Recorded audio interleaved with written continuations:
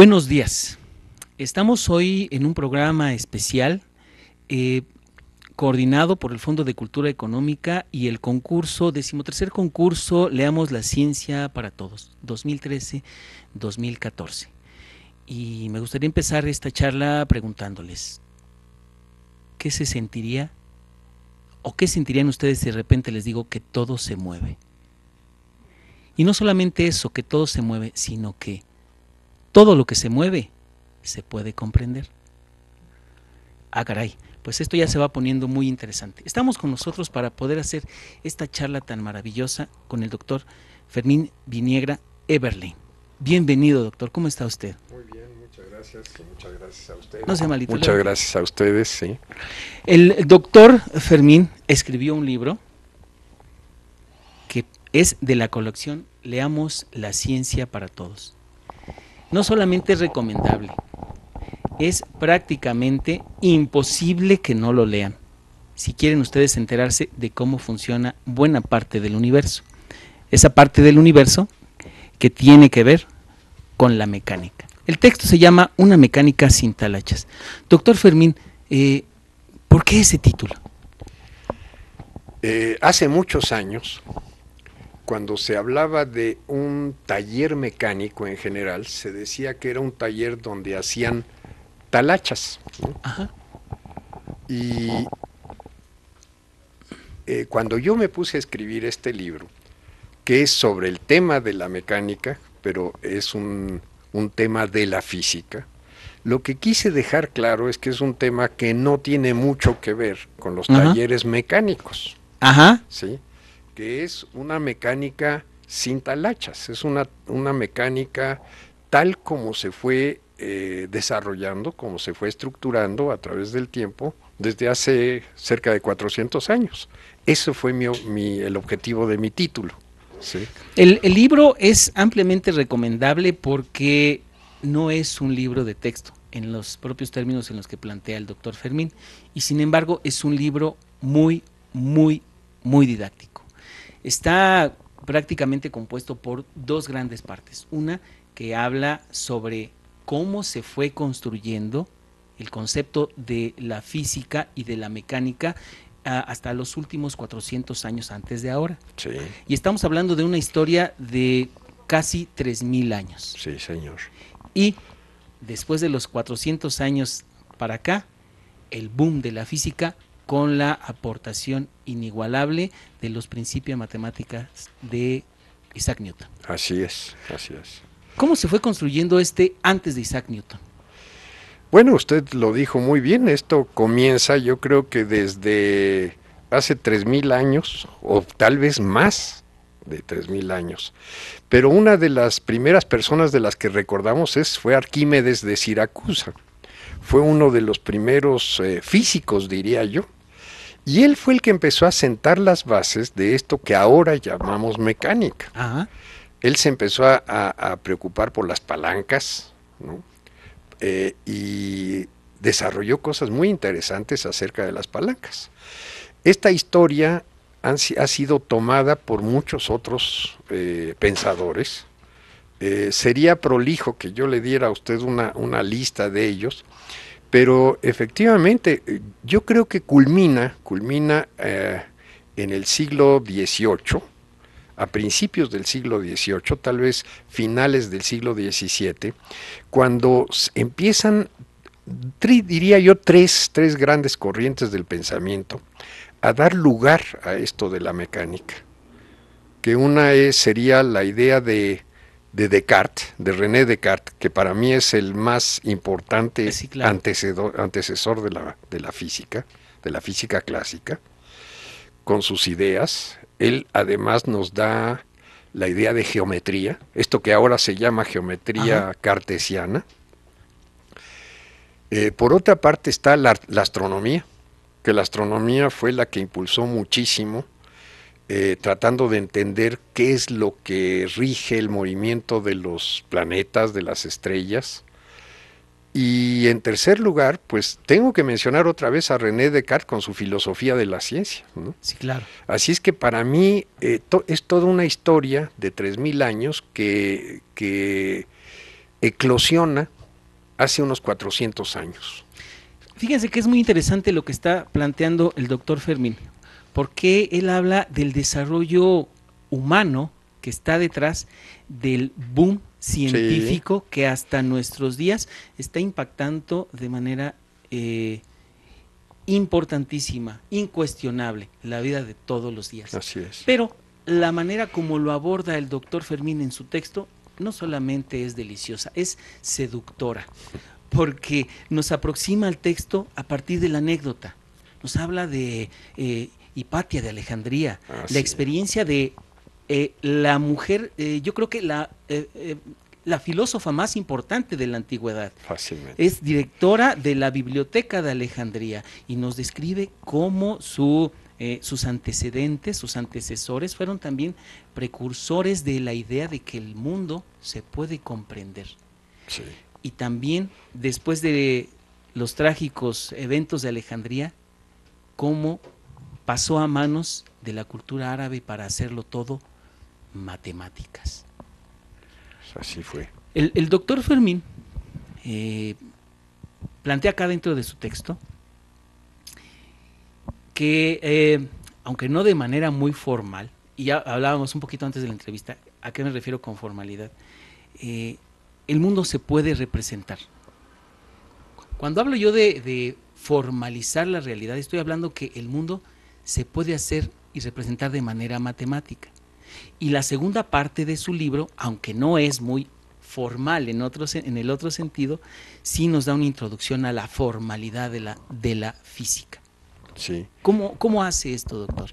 Bueno, allí ya estamos hablando de ese parteaguas, que ya llegó el momento en que una persona, Isaac Newton, empieza a estructurar todo un modelo, un modelo del mundo. Empieza a ser Isaac Newton. Y efectivamente, él tiene que, basarse, esto que nosotros llamamos axiomas, en un conjunto de axiomas, y uno de los axiomas que él propone es la existencia de un espacio tridimensional, él dice que es de tres dimensiones, y que es el escenario donde ocurren todos los acontecimientos de la física. Eso es lo que él nos dice. Y, parece eh, casi de sentido común hoy hablar de que uno se sienta en esta silla y tiene estos tres planos, ancho, largo y profundidad, pero hace 400 años no era algo que se reflexionara, y mucho menos que se llevara a las matemáticas. Y aparte de ese eh, primer axioma, que es la tridimensionalidad, el axioma de la temporalidad. ¿Cuál es la relevancia de este planteamiento? Bueno, era muy importante para Newton introducir el concepto del tiempo porque el tiempo es el que permite entender el movimiento. O sea, e, es imposible que entendamos al movimiento de cualquier cuerpo en el espacio si no pensamos en un tiempo que transcurre a lo largo de ese movimiento. Entonces él tuvo que introducir ese concepto del tiempo y lo introdujo como un, un parámetro. Esto quiere decir algo que ocurre, que ocurre siempre en una misma dirección, de pasado a futuro, que siempre tiene el mismo, la misma medida. O sea, quiero decir que un segundo es siempre igual a otro segundo, a otro segundo. Y que además es el mismo para todo observador. Así introduce él el tiempo. Y aquí es donde está la genialidad de Newton y la genialidad del doctor Fermín cuando no lo explica. Porque cuando ya lo tenemos acá en el libro, podemos comprender esas aburridas clases de física que tenemos en la escuela. Y yo le decía antes de iniciar esta entrevista que en mi experiencia como estudiante aprender física fue tortuosa, tortuosa. ¿Por qué? A lo mejor porque no había tenido yo este libro, pero comprender el contexto en el cual surge y que fue una genialidad newtoniana. Estamos en un plano de tres dimensiones y nos movemos en el tiempo de manera regular y monótona. Y estas son las variables que utilizamos para describir cualquier movimiento en estos límites de la física clásica. Clásica, sí, señor. Sí. Platíquenos un poco más de ese descubrimiento maravilloso o esos axiomas maravillosos a partir de los cuales incluso se desarrolló la cultura desde hace 400 años hasta este momento. Mire, todo, todo modelo que se crea en la ciencia es un modelo ideal, es un modelo intelectual.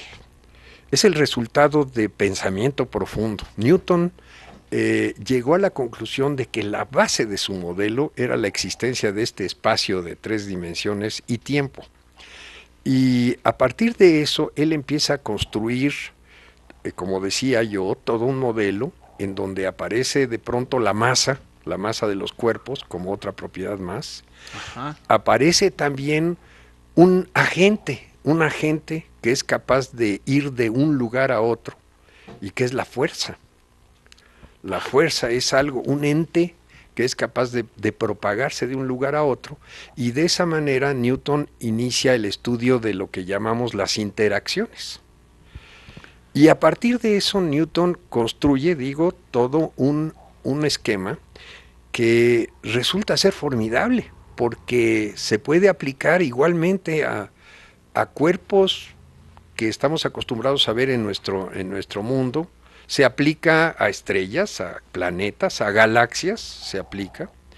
Y también puede aplicarse al mundo de lo pequeño, hasta cierto límite. Ajá. Hasta cierto límite, sí. Pues es, es muy interesante.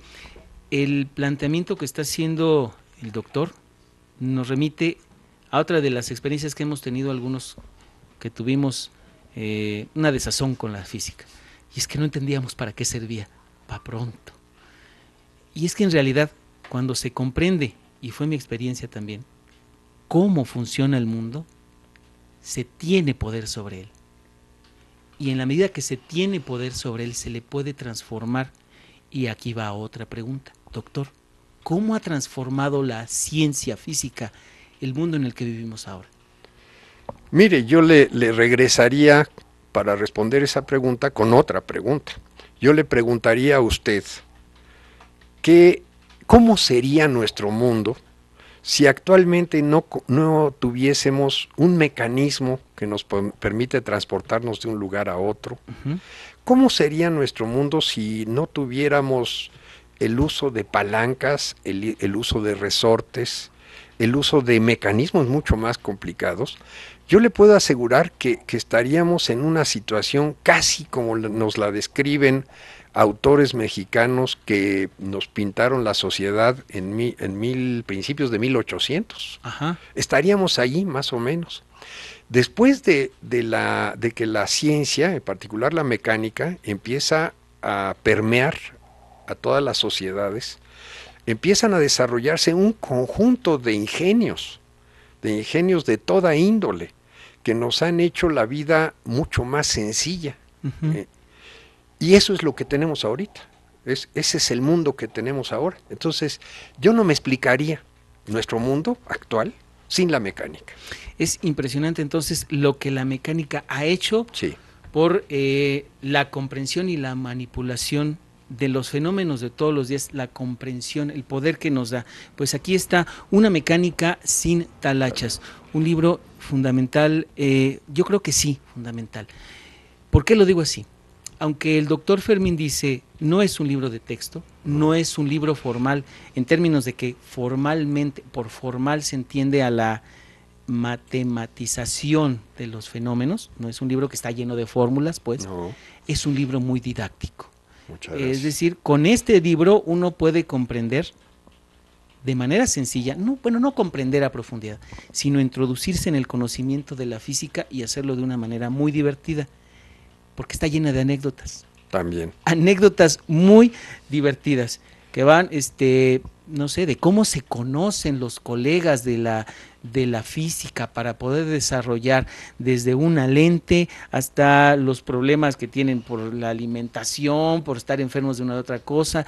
Eh, eh, ¿Alguna de estas que nos quiera compartir que, que haya disfrutado más dentro de su investigación para comprender la historia en torno de la física? Una de las cosas que relato en mi libro que a mí me, me gustó especialmente fue partes de la biografía de tal vez lo que fue el más grande astrónomo del, de, pues ya el Renacimiento, que fue eh, Kepler, Johannes Kepler. Para mí fue estupendo el trabajo de Kepler. Eh, y, sin embargo, cuando nos metemos a su vida, a lo que fue su infancia, lo que fue desde su concepción, porque resulta ah, que, que su, su mamá tenía la costumbre de anotar todo y anotó la fecha y la hora en que fue concebido eh, Johannes Kepler. Sí. Y ya cuando él, eh, bueno, nace, crece, resulta ser un, muchacho famélico. Sí. Eh, diría subalimentado, con raquitismo. Tenía, tenía el problema desde un principio, decían que su estómago era traicionero con él. Yo diría que estaba parasitado. Sí. Eh, tenía una visión paupérrima. Eh, a mí me cuesta trabajo entender esto porque era astrónomo. ¿Y cómo podía tener una visión? El más grande astrónomo de su tiempo era incapaz de distinguir un ratón, ¿no? De, no sé, de un pequeño gatito. No podía distinguirlo a más de tres metros. Bueno, eh, en la música tenemos otro caso, que es el de Beethoven. ¿no? Beethoven era un, músico sordo. Sordo. Pues tenemos en la astronomía un astrónomo miope, ciego prácticamente, ¿no? Wow. Sí. Pues es impresionante. De estas anécdotas está lleno el libro. Y eh, bueno, a lo mejor lo que tenían era una claridad de pensamiento, una ah, disciplina que se construye, bueno, que se construyó con, no sé con qué, con intuición, con accidentes de la vida o algo por el estilo. Doctor, déjeme darle paso a la charla porque los compañeros que están en el chat también quieren platicar con usted. Muy bien. ¿Me permite? Muy bien. Susana, te escuchamos. Así es, mi querido César, porque también nosotros queremos platicar con el doctor Viniegra. Bueno, pues ante la pregunta que nos planteaste al principio, decíamos, ¿qué sentimos cuando, cuando nos dicen que todo se mueve? Nos dice Sergio de la 104, raro, ya que se ve que el cielo no se mueve, pero en realidad se mueve lentamente. Eh, dice en la 80, pues yo lo veo algo muy natural y no siento ningún vértigo o algo parecido. Sergio, me parece fascinante lo que está comentando, la 56, es muy interesante. Y nos preguntan en la Sergio de la 22 que si este libro se puede usar como apoyo a nivel secundario. Bueno, eh, déjeme ir por partes. Eh, primero, eh, es claro, ahora tenemos claro que todo en este universo está en movimiento. Lo que también tenemos que tener claro es que el concepto de movimiento mismo depende de quién lo observe. Ah, sí. O sea, no, no es un concepto absoluto, sino que es un concepto relativo, relativo al observador, al marco de referencia, como se dice en la física. Entonces, lo que para nosotros parecen ser objetos que no se mueven, en realidad podemos decir que son objetos que se están moviendo con nosotros. Es como un astronauta que está en su cápsula y que él, él siente que él no se mueve allí en su cápsula, igual que los objetos que están alrededor de él pero nosotros desde la Tierra vemos que es esa nave espacial se está moviendo a 50 mil kilómetros por, por, hora. ¿no? Entonces el concepto de movimiento es un concepto relativo. Por otra parte, eh, efectivamente, el libro puede ser una ayuda didáctica.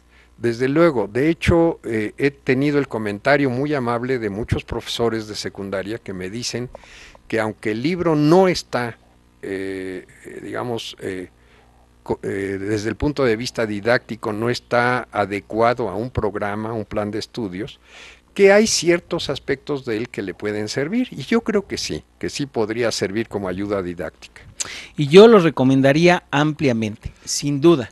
si uno se quiere acercar de una manera divertida a lo que es eh, la historia de la física y comprender los principios de la física clásica, el libro Una mecánica sin talachas es ampliamente recomendable. Quisiera preguntarle, doctor Fermín, muchas cosas. Es más, casi como decirle, hice mi tarea, me leí el libro y comprendí todo lo que decía, pero en realidad no. Es, es, muy complicado, sobre todo en la parte final, cuando ya habla de los límites que tiene esta física clásica con lo que es excesivamente grande y lo que es pequeñísimo, sí. y que allí la mecánica no ha logrado como coincidir sí. con lo que ocurre. Sí. ¿Por qué? ¿Por qué, doctor?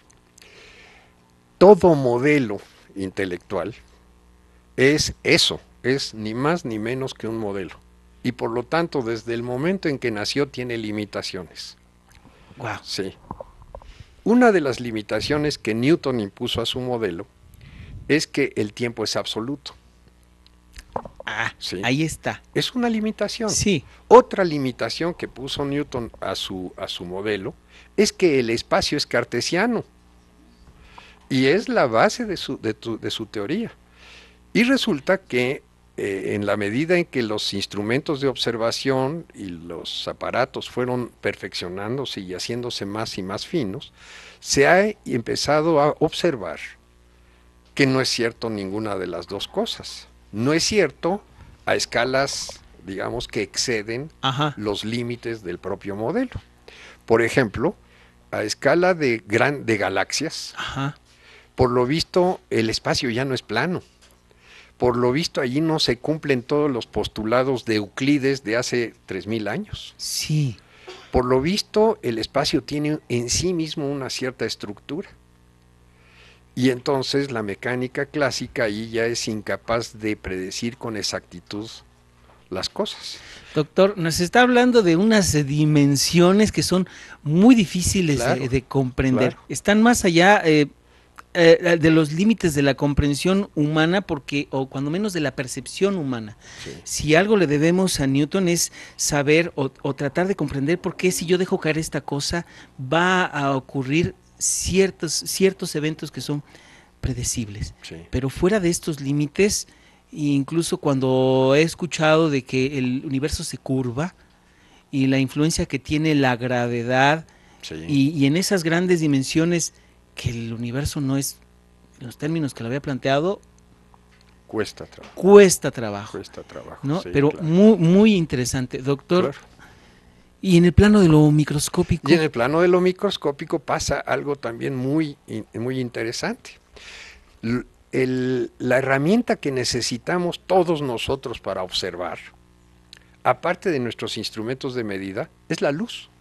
Tenemos Ajá. que iluminar aquello que estamos observando. Ajá, Y resulta que si estamos entrando al mundo de lo ultramicroscópico, a nivel de un electrón o de un protón, allí un rayo de luz es terriblemente energético para esa es- partícula. Es un bombazo. Un bombazo para esa partícula, de manera que si yo quiero observar dónde está un electrón, por ejemplo, y trato de hacerlo lanzándole un haz de luz, lo, lo saco No. de la escena. Sí, claro. Entonces, eh, allí ese principio que teníamos nosotros de certidumbre se ha convertido en un principio de incertidumbre. Incertidumbre. Ya no tenemos la certidumbre de encontrar a las cosas cuando son demasiado pequeñas en ciertos lugares o moviéndose de cierta forma, porque para alumbrarlos les estamos dando energía desde fuera y estamos alterando todo. Eh, qué barbaridad. Y sin embargo se aplica la mecánica clásica para los eventos que son, digamos, más próximos a nosotros. El modelo funciona dentro de ciertos límites, como lo mencionaba. Totalmente, sí. Impresionante, doctor, porque tiene trascendencia incluso en la vida social, A ver. ¿verdad? Pero antes de que yo pase a mi propio planteamiento, quiero pasar la palabra a mi querida Susana, que tenemos ahí gente en el chat. Así es, bueno, ahora Heli de la 69 nos está comentando, sin duda su libro es importante recurso didáctico para motivar a nuestros alumnos para acercarse al injuriado y prejuiciado mundo de la ciencia muy mal entendida entre muchos sectores de la población. La técnica 68 comenta, es increíble lo que se menciona. Y la 104 pide un saludo directo para su comunidad. Saludos a la 104. Muy bien, muchas gracias. Sí, saludos. Antes de eh, empezar esta entrevista, le planteaba yo al doctor Fermín cómo la ciencia, la física, en cuanto a su objeto y su método, particularmente a su método, llevó eh, su forma de ver las cosas a las ciencias sociales, eh, particularmente a la historia y la idea de que siendo el tiempo monótono, irregular, podría aplicarse para poder comprender eventos sociales con estos parámetros. Y entonces inventamos, porque ese digo que la forma más correcta de decirlo, inventamos eh, los siglos, los periodos, las eras, las épocas para poder ubicar y caracterizar esos eventos en esa regularidad temporal. ¿no? Y es algo que se le tiene que reconocer y a pesar de eso hay jalones entre las ciencias blandas y las ciencias duras. ¿Usted qué opina, doctor, de esto? Eh, yo creo que hay un principio que no hemos mencionado aquí y que yo pienso que es también fundamental. Nosotros le llamamos la causalidad a ese principio. Nosotros decimos que todo efecto que yo observe en el universo tiene una causa. Exacto. Y segundo, aunque parezca una gran tontería, que la causa siempre fue antes que el efecto. Ajá. Sí. Eh, yo creo que ese principio es igualmente aplicable a, a, las ciencias sociales, es igualmente aplicable a la biología, es igualmente aplicable, bueno, le diría yo, hasta las artes marciales. sí. En todas partes podemos aplicar este principio de causalidad. Y eso entonces nos permite estar un poquito más tranquilos en el sentido de que si yo conozco cómo fueron las cosas en el pasado, yo puedo hacer cierto tipo de predicciones a lo que puede ocurrir en el futuro. Le vuelvo a decir, como mencionábamos, que en el caso de las ciencias sociales estamos hablando de, cuestiones muy complejas porque intervienen miles o decenas o centenas de miles de parámetros. Sí, claro. Lo que domina una economía, lo que domina un gobierno, lo, en fin, es algo que aún en las más poderosas supercomputadoras actuales no se, puede. No se ha podido eh, meter todo aquello. Sin embargo, sí hay avances muy importantes en las ciencias sociales también y se pueden hacer ciertos vaticinios y muchas veces esos vaticinios son eh, comprobables. Hijo, eh, doctor Fermín, don Fermín. Muchas gracias. Es eh, muy rica la charla que estábamos teniendo y me quisiera ir con dos cosas antes de terminar. ¿Cómo es la vida de un científico? De modo tal que nuestros alumnos se emocionen y digan, yo quiero hacer física. Ah, esa pregunta es muy bonita. Me encantaría, me encanta la, la, oportunidad que tengo de contestarla, porque efectivamente se tiene la imagen de un científico como un señor eh, de mal carácter, regañón, mal vestido, mal afeitado, metido dentro de su, de su laboratorio, eh, cascarrabias, diría yo. Y a mí me, yo les puedo decir que es todo lo contrario, que un científico es una persona feliz en general, es una persona que cada día de su vida emprende una nueva aventura. En mi caso, yo soy físico teórico, yo me meto en mi cubículo en la Universidad Nacional y allí me pongo a investigar y para mí es como emprender una excursión, una caminata que no sé muy bien a dónde me va a llevar, pero en la que con lo que yo conozco, con las herramientas que yo tengo, puedo encontrar cosas nuevas, puedo hallar cosas ciertas del mundo. Y eso me impulsa mucho porque yo sé que puedo encontrar cosas que realmente ocurren. Me da mucho gusto cuando eso puede ocurrir y digo que mi día valió la pena Me siento muy triste cuando no, no pude encontrar algo así, pero tengo la esperanza de que mañana lo pueda yo repetir. Yo diría que la, la ciencia en general y la física es una actividad muy importante para todos nosotros. Eh, la falta de dinamismo que yo veo en mi país, yo la atribuyo preponderantemente al, a la poca importancia que se le ha dado a la ciencia y con ella a todo lo que viene después de ella, la técnica y la tecnología. Muy bien. Yo creo que nuestro país va a ser otro el día que nuestros jóvenes entiendan que es muy importante hacer ciencia. Hijo, cátedra, cátedra, señores. Quiero enlazar este último comentario que usted ha hecho respecto de la promoción de la ciencia, que es el propósito fundamental Sí. del décimo tercer concurso Leamos la Ciencia para Todos 2013-2014, pero primero chat, porque los compañeros también quieren platicar. Muy bien. Pues es que la, la charla está bien interesante y todos quieren participar. Pregunta Sergio, ¿cuánto cuesta el libro? Y ahorita a ver si podemos localizar ese dato con nuestro representante del Fondo de Cultura Económica. Dice la 109, qué buen tema, excelente. Y Sergio le tiene una pregunta al doctor Fermín. ¿Siempre quiso ser científico o en algún momento quiso estudiar otra cosa? Ay, me obligan a decir algo que es un poco penoso. Cuando yo terminé mi secundaria, el director de la escuela donde yo hice la secundaria, que fue la secundaria 13, le hizo una visita a mis papás. Y en esa visita les planteó a mis papás que el niño Fermincito es un niño más o menos inteligente, más o menos, tiene ciertas virtudes para el dibujo, Sí. pero no, no lo consideraba muy apto para seguir una carrera eh, formal. Cualquier carrera. Eh, aconsejaba que al niño Fermincito le lo, propus- lo propusieran para una carrera técnica, dibujo industrial, por ejemplo, que eso sí podría soportarlo el cerebro de él.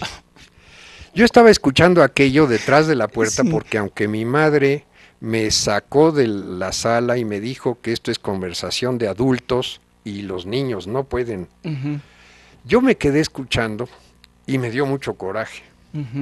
Y entonces me puse a investigar entre mis compañeritos de años superiores cuál era la carrera más difícil Wow. que ellos conocían. y uno de ellos me dijo, bueno, la más difícil que yo sé es la ingeniería química. Y entonces dije, yo voy a ser ingeniero químico.